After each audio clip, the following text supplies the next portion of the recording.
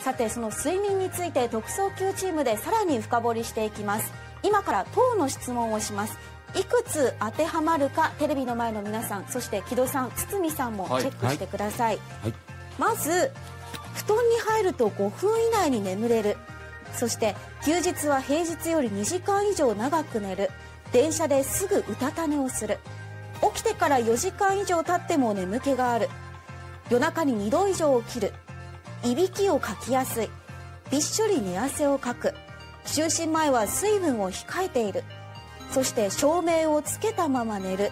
就寝時はエアコンを消す、うん、さていかがですか？お二人。私は5つですね。チェックがつきましたね。堤さんは？はい私は4つでした。おお本当ですね、うんうんうん、これどうなんですか？数が多いと少ないとっていうのは？多い方が危険なんですね、はい、4個から7個だと要注意。そして8個以上だと危険ということなんです。なのでお二人は要注意ですね。溜まっているリスクがあります。堤さんの見ると夜中に2度以上起きるって書いてますけど、はい、そんなに起きるんですか？これねもう原因ははっきりしてます。あの、はい、私五十肩今やってまして。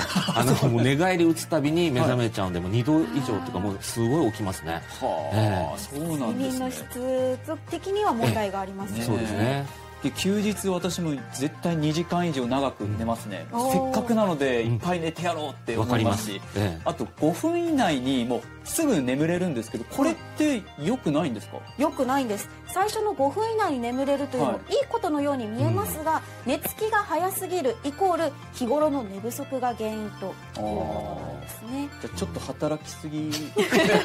かもしれませ ん。そうですね。他にも照明をつけたままとか、えー、就寝時にエアコンを消すなどもいい眠りができない環境にいるということになっています。いずれも睡眠不足が蓄積されている恐れがあるんです。今日は眠りが悪いとどんなリスクがあるのかいい睡眠をとるコツを調査しました睡眠障害の治療を専門とするこちらの病院。最近よく言われる睡眠負債ってどういうことなんでしょうか？睡眠負債っていうのは睡眠不足が蓄積した状態ですね。睡眠の借金赤字みたいにコロナ禍であのやはり家におることが多くなってそしてやっぱり不眠症の人が多くなりましたね。街行く人に聞いてみると全然寝れないですね。それなんかなんでなんですかやっぱり動かないから体動かさないから寝れないのかなと思います。眠れないかもね疲れないからね。体が疲れてない分まあ、ちょっと寝覚めはあの、まあ、出勤がある方が、まあ、すっきり目覚めるかなと思いますね。睡眠負債が積み重なるとどんな恐れがあるのでしょうか？睡眠不足になりますと肥満になったり高血圧になったり糖尿病のリスクが高くなったりしますし免疫のですね感染力が低下するということがあってそのやはりインフルエンザにかかりやすいとかですね、えー、ことが言われてます。コロナ禍でその生活リズムが変わったっていう人も多いでしょうからね。そうですね。やっぱりその働き方が変わってそのテレワークやったりする。まあそれでやっぱりなかなか私もやってますけどリズムがつかみにくいっていうのは確かですね。ですね。飲み会がないっていう人もいるかもしれませんしね。うんうん、ねあとこう世界で見た時の日本の睡眠のデータもあるんですよね。そうです。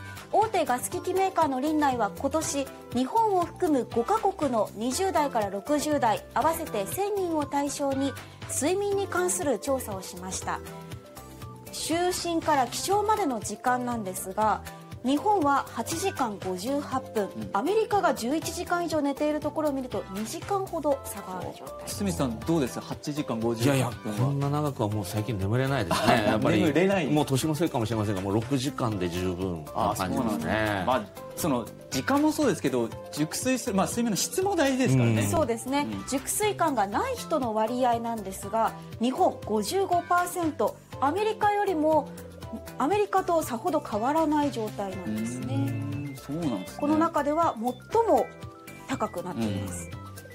逆にはい、コロナ禍で夜更かしが増えた人の割合は日本14%アメリカが46%なのに比べると日本一番低くなっているんです夜更かしが増えたように思うんですけどそうじゃないっていうデータですね。で、ね、まあ、でも私自身はちょっと増えた気がしますね。やっぱりテレワークだと思います。これもあのパソコンを結構あの見ることをつい眠る前にちょっと確認とかやっちゃうんですね。これ良くないですね。じゃ堤さんは14%の中に含まれてる、うん、はい、夜更かし増えたと思いますね。そうですね。はい。気になるのはどうしたらいい睡眠が取れるのか再び専門家に伺いました睡眠の専門家によりますと睡眠負債かどうかは平日と休日の睡眠の差で判断します。平日6時間睡眠の人が休日に10時間寝ているとその差は4時間。この差が2時間以上の人は睡眠負債の状態にあるといいます。いわゆる寝だめをすることでカバーできないのでしょうか？いや聞かないという話寝だめをしてもやはり平日の睡眠時間睡眠のがコンペンセートすることはない。山口委員長はしっかり睡眠時間を確保することに加え特に進めるのが朝の光と朝食だといいます。で朝起きて光を浴びて朝ごはんを食べるということが毎日毎日のリセットを起こさせてメリハリをつけるとということでお二人はちゃんと朝の光と朝食とってますか？私は朝食ちゃんととってますし光も浴びてますね。あ立派ですね。私は特に休みの日はむしろ朝の光から逃げ回って 布団かぶって寝てることが多いですね。そうなんですいや ダメですね。えー、一日のスタートだよと脳に認識させるためにエネルギーとなる朝食そして寝起きの光が大事なんです。だから逃げ回ってるっていうのはちょっとツボ なんですけど朝も大事ですけど、うん、昼寝も大大事って言われてます。ねあ、えー、あのホークスの選手に以前聞いたことあるんですけど、うん、試合前の練習終わって試合が始まるまでの間に昼寝して集中力高めるっていう話もしてましたよ。で加えて福岡市も企業の昼寝を後押ししようと一昨年5月に寝具メーカーの西川と推進事業を始めているんです。参加企業にはオリジナルブランケットが配布されそれを使って昼寝をします。今日確認したところ157社の企業がこの事業に参画しています。福岡市は昼寝は悪というイメージを変えたいという思いもあって広報や効果の検証になっていたんですが認知度が一定程度高まったとして先週事業から手を引いて西川の単独事業になっています。で福岡市にアンケート調査の結果ちょっと聞きました。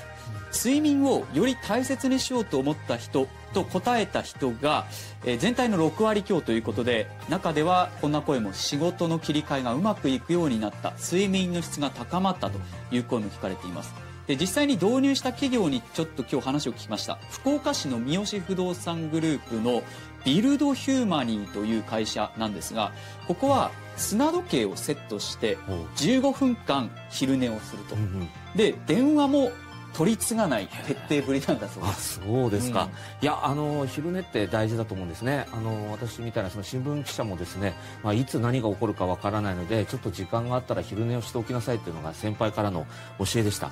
なので昼寝はあの得意でしたね。すぐ眠れました。うん、ただ一方でその一般的にはですね、昼寝っていうのはやっぱりサボってんじゃないかと思われがちだという話ありますよね。ねまあそういう意味ではその企業としてその仕組みとして昼寝いいんだよと、でそれでまたリフレッシュして仕事の効率上げていこうねと。これはねいい取り組みだと思いますね。そうですね、はい、そしてあの取材に応じてくれた山口院長によると海外の大学バスケ部では睡眠を2時間延ばすとスリーポイントシュートの精度がアップしたと。こんなデータもあるそうです